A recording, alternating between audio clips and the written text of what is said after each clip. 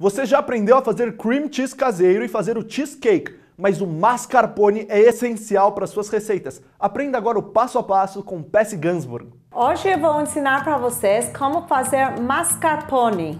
Mascarpone é um queijo cremoso, um pouco mais cremoso do que cream cheese Cream cheese é feito com leite e o mascarpone é feito com creme de leite, então ele vai ter muito mais gordura. Super fácil de fazer, mas difícil de encontrar nas lojas, especialmente kasher, com dois ingredientes: creme de leite e limão. Ok, vou pegar um litro, um litro completo de creme de leite. Vou colocar tudo. E a gente quer que ele fique no fogo médio. Você não quer que ele borbulhe muito. Ele vai começar a fazer bolinhas no lado. Já tá bom. Aí a gente vai adicionar o limão. Ok? Pode ir devagarzinho. Às, às vezes até umas 5 a 10 minutos. Mas não deixa ele muito alto. Já tá começando. Agora que tem as bolinhas, eu vou colocar limão. Uns 3 colheres de limão. Fresco, tá? Tem que ser um limão fresco. E agora sim você tem que ficar mexendo devagarzinho, quase o tempo inteiro. Agora que o limão entrou, vou deixar ele ferver e ele vai engrossar.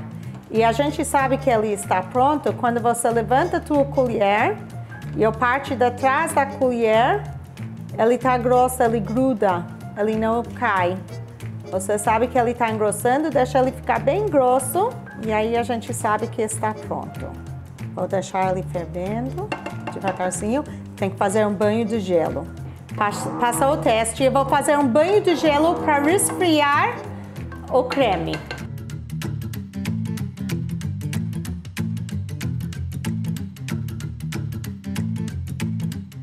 Coloca aqui dentro e deixa ele resfriar. Ficou uns 15 minutos num banho de gelo para resfriar e você já pode ver que ele está mais uh, gelatinosa, grossa, tá? E agora nós vamos para o próximo passo, que é eu peguei aqui uma peneira e forrei com pano de prato, tá? Essa aqui foi de Marli Panos, tá? Que me deu, é de leite, então não tem erro. Coloca aqui e a gente vai passar o creme para lá.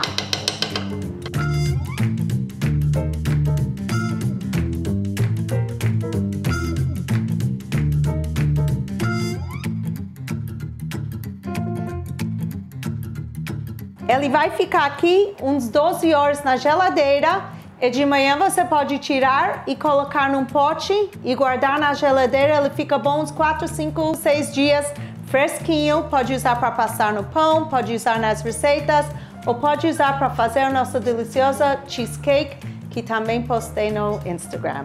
Se você quer ele mais mole, o que você pode fazer é pegar um pouco da água que vai sair daqui, mistura ele dentro ou pegar leite morno mesmo ou simplesmente deixar fora da geladeira uns 15 minutos, ele amolece para poder passar mais fácil tá? Guarda na geladeira 10 a 12 horas. Eu espero que você viu como é fácil fazer uma coisa sofisticada, como queijo mascarpone em casa, e você tem um queijo maravilhosa. Vou guardar na geladeira. Haxamé para todas!